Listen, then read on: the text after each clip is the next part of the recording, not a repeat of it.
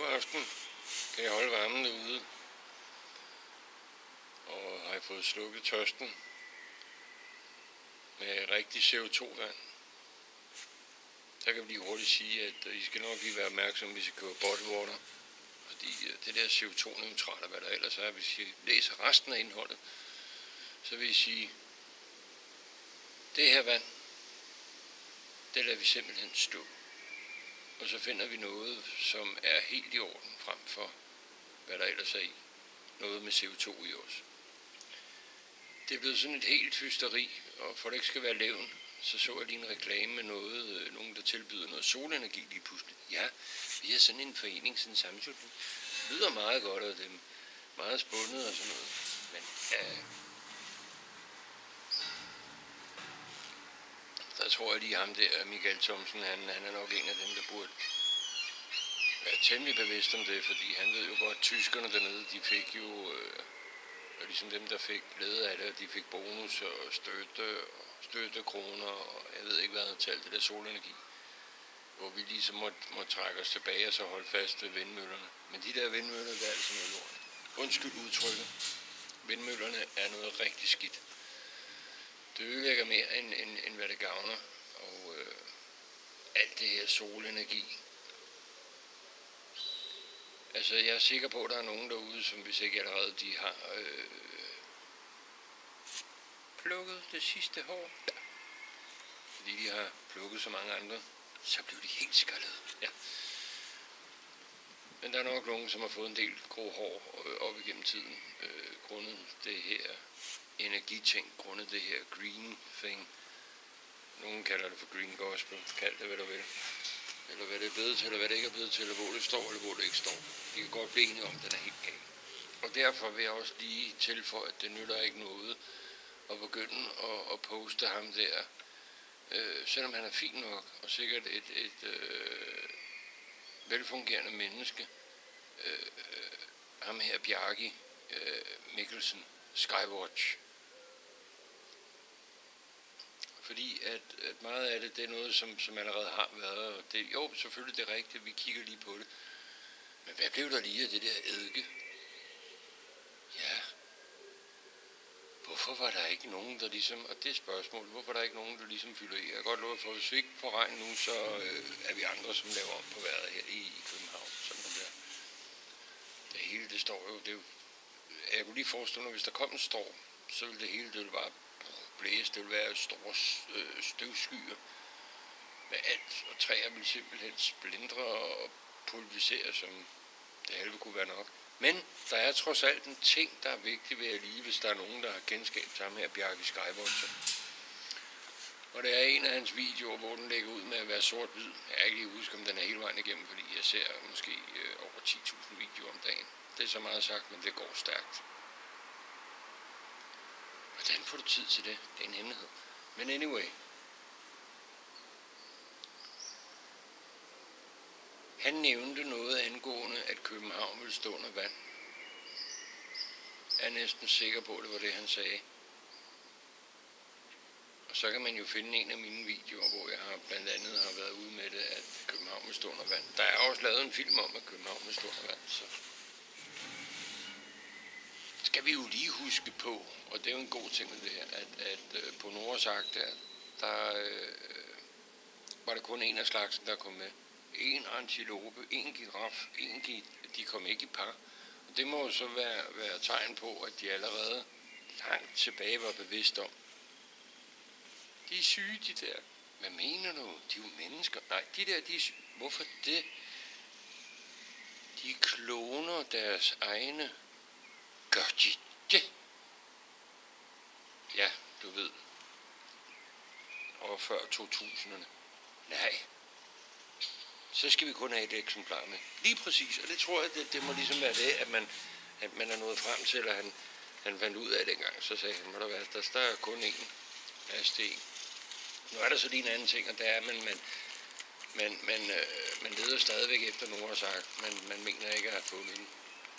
Men øh, det kan jo nok også være så meget andet end bare lige at være, være det, det er, og, og er det nu også i, i, øh, i fysisk form. Og er det en anden måde at fortolke det på, og der ligger en masse af det der. Det ved jeg ikke. Jeg tror, det er vigtigt at mærke efter. Ja, kan det her nu også passe?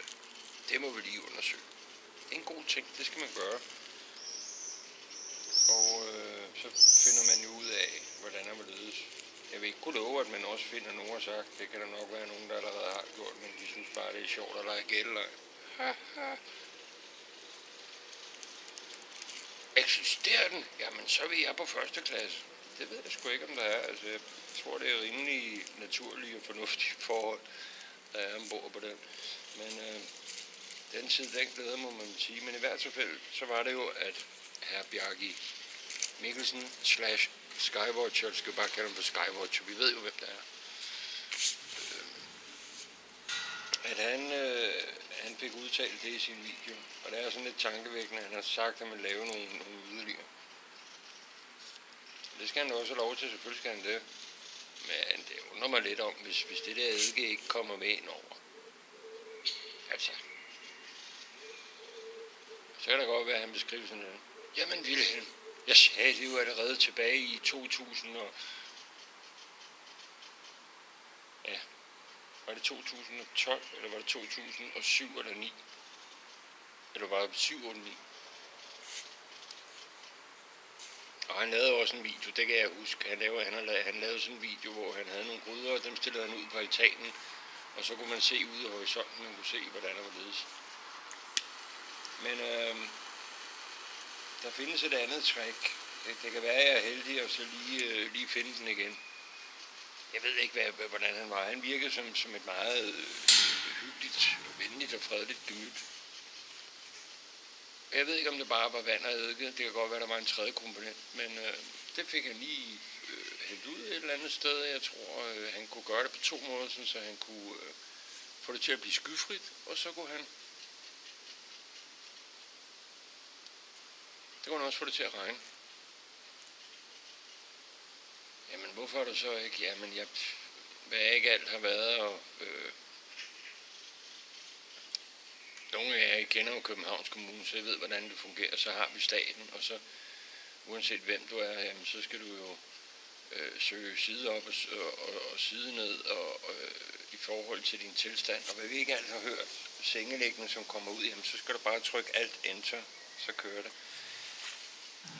Altså, øh, så kan jeg da godt forstå, at man er lidt bekymret øh, omkring vejret.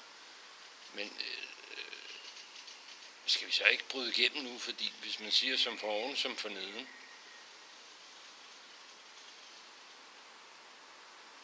og ja, det er ikke så svært. Og, og, og, og det bedste af det hele er, at vi kan nå det på falderæbet. Falder, falderæbet. Vi kan, vi kan nå det, fordi øh, august, den er, den er tæt på. Men vi kan faktisk nå at få udrettet en hel del og få fjernet det der, en, en hel masse på nye måder. Og vi vil også kunne bygge nye ting, men det er altså nu, vi skal i gang. Så det er sådan lidt, ja, lidt underligt, at, at ham der Skywatch, han også kommer tilbage. Men det må jo ligesom være, være øh, prikken over et eller andet sted, fordi så er det altså nu, øh, det er nu, I skal til at, at, at bokle op. Det er nu, øh, vi, vi er nødsaget til at komme i gang, fordi øh, der er desværre en for stor del, som, som øh, øh, kun finder ud af at lutte øh, sammen med systemet, og det såkaldte fællesskab, men er absolut ligeglade med, hvad der har været, og hvorfor, eller hvordan der må ledes, eller bare, bare de har det godt, så, så, så er det fint. Så er med resten. Ja, den, den indstilling, den kan vi ikke have. Den hører ikke hjemme i demokratiet. Demokratiet fællesskaber. Det er sådan lidt. Nå, samfundet. Anyway. Det er hårdt nok i forvejen og skal igennem, øh, og allerede har været igennem de her ting. Øh,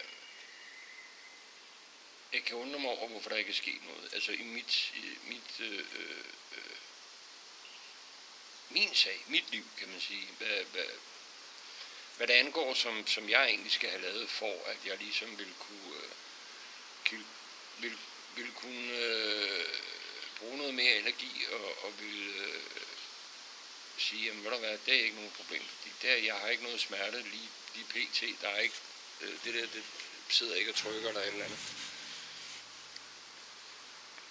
men øh, så er der bare,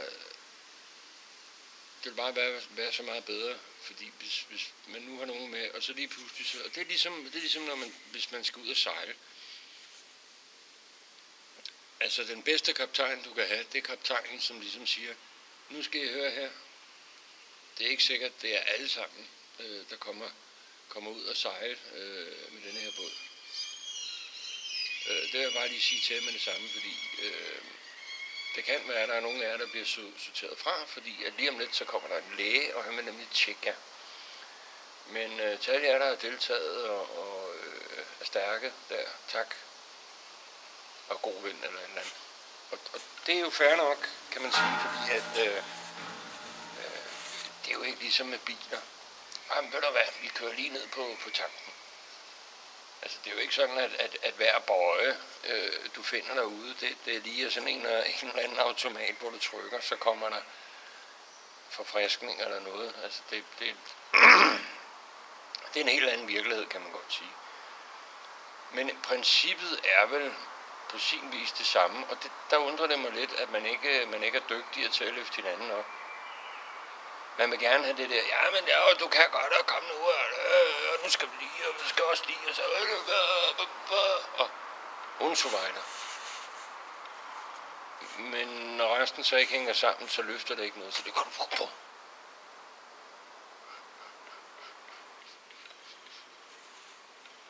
Og der er det for meget fniderflader. Der er for meget øh, snikken snakken.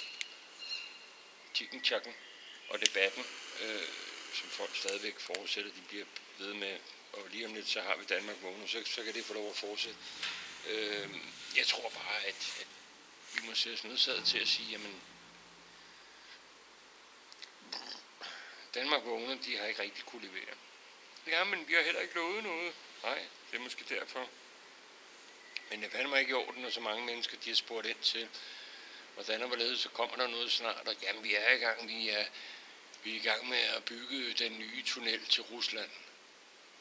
Sådan så vi lynbørge med et underjordisk tog kan nå ind i Kreml. Og det skulle da okay så. Jamen, så kan jeg godt forstå, hvorfor jeg ikke har taget nogen billeder af jeres nye studie og så videre. Det er helt i orden. Men anyway, det der med at lade folk vente så lang tid, og der ikke rigtig kommer noget svar, øh, og, øh, så får man bare sådan en eller anden video, eller så er der sådan et billede med en eller anden side, så er der sådan nogle produkter.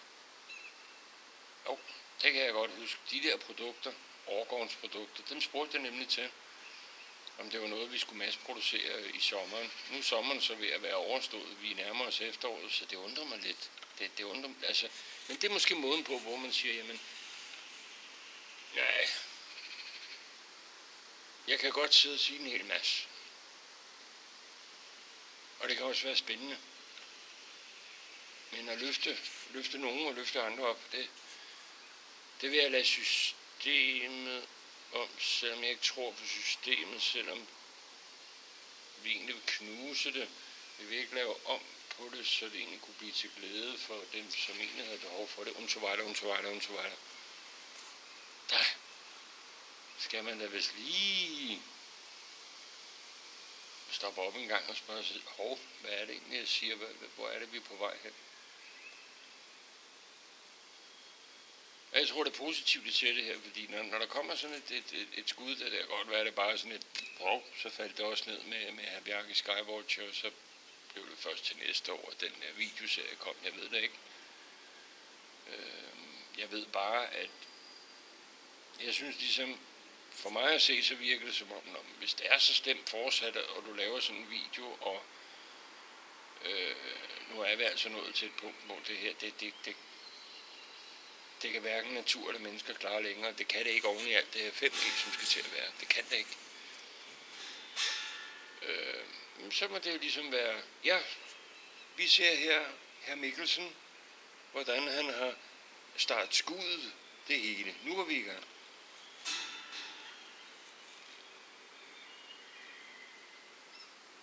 Ellers, ellers synes jeg, så begynder, undskyld mig, men så begynder det hele bare at virke som sådan noget øh, øh, øh, øh aquatunes cartoons, we are the cartoon heroes. Altså, det virker som sådan et eller andet, der er under vand, og man, så flyver man måske lige lidt, og så er man deroppe eller noget, men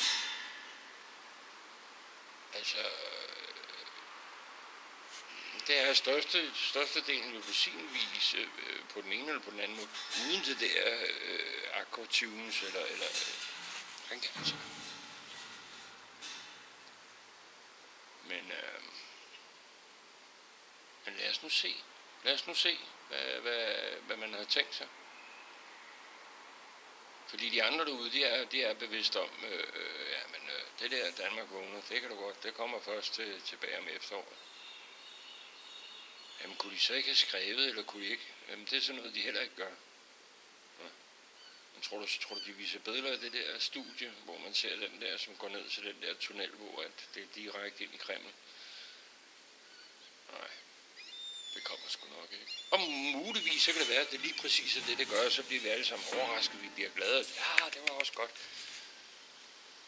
Og det er måske nogle af de ting, som, øh, altså, åh, det er så tungt det her. Og det er ikke noget, der løfter nogen op på nogen måde. Det er lidt underligt, at, at det hele det, det får lov til at køre den der form for stampe. At, at man kan sige, på sin vis så har vi en masse mennesker, men vi har der vel også nogen, som, som øh, øh, hvad hedder det, til egen vending. Jeg havde det sådan lidt, jeg, jeg ved ikke om det var en drøm, jeg havde med, at, at Danmark vågnede lige pludselig var begyndt at skulle sælge merchandise.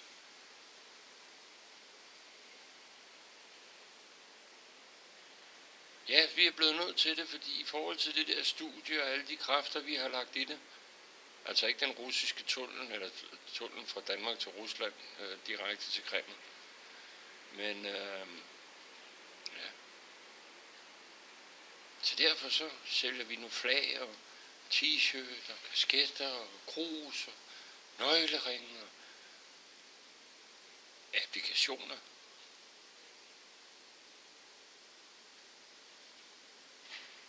Hvorfor? Er det, er, det, er det fordi folk har mere end penge nok? Er det fordi vi ser, at, at størstedelen af det der er, det er jo gået, gået øh, flere og flere drejet nøglen op? Altså produktionen er, er rykket udenlands, uden så videre. Statsinstitutioner. Og de studerende. Der er en ting, jeg, jeg, har, jeg har lagt mærke til. Øh, tit og ofte bliver den her nok over de 20 minutter. Øh, men tit og ofte så, øh, så går det meget med de studerende. Ja, det er også de studerende. det, det, det, det. Ja, men hvad med de der lærere? Hvad med de der øh, direktører, ledere og hvad, hvad der ellers sidder? Hvorfor fanden er der ikke nogen, der tager fat i dem? Hvorfor er der ikke nogen, der ser, jamen, hvor går trådene til, hvilken minister er inde på hvilket område, og hvordan og hvorledes, og så ligesom siger, prøv her,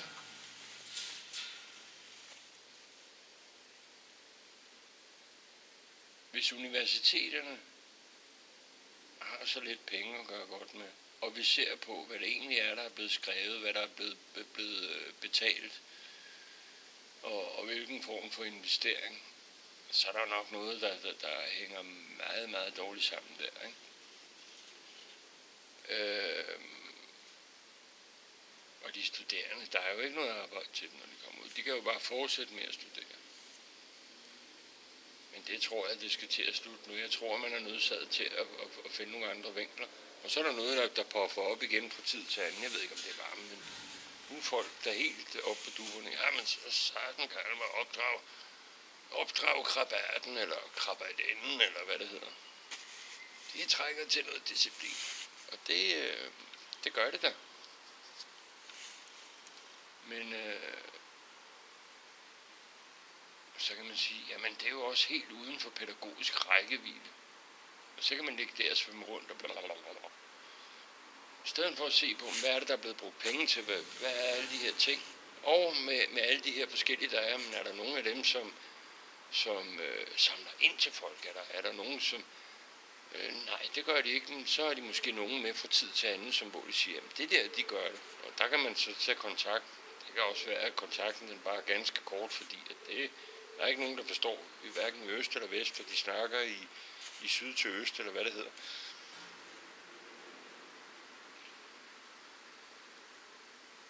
Ja, og være i systemet kan godt give nogle knups undervejs. Ja, og en masse mennesker, de er ligesom døde. Det, det er sådan lidt... Øh, hvor, hvor, hvor var det lige den der bog et eller andet sted, man, man læste? Jeg tænkte, ja, sjovt, som hun passer i forhold til det der. Så var det noget om Grækenland. Ja, altså, der er mange af de ting, som man, det er jo helt skævreden. Altså, I vil, I vil gerne holde til det, fordi I har det fint. I kan sidde ude i haven og spise jordbær med fløde på og sådan noget, og så hvis I egentlig ikke helt gider, eller der er ikke rigtig nogen, der gider, så kan man altid lige smutte ind i, i førerhuset på et eller andet, og så trille der ud af. Og så for den sags skyld samtidig tjene penge, det er jo, det er jo en god ting. Og det, det er der jo nok nogle af dem, der har tænkt på, at det var ikke længe før, så, så er der ikke nogen, der skal sidde nogen som helst steder i det kabine sjovt der, eller også så øh, vågner de bare op i sådan en eller anden pose sådan med en masse øh, ledninger og, og øh, chips og sådan noget. Så har lastbilen overtaget det hele. Den kører 24-7.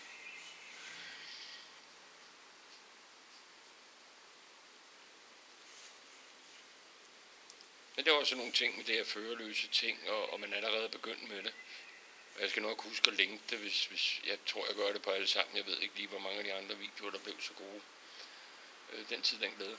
Men der vil jeg gerne lige linke det, og så lige få det på der, sådan så øh, den handler om, om, om, øh, om øh, ønskeøen, som sagt. Men måden, som den er afbildet på, og, og nærmest som værende en form for reklame for, for det her 5G, den er altså, den er tankevækkende.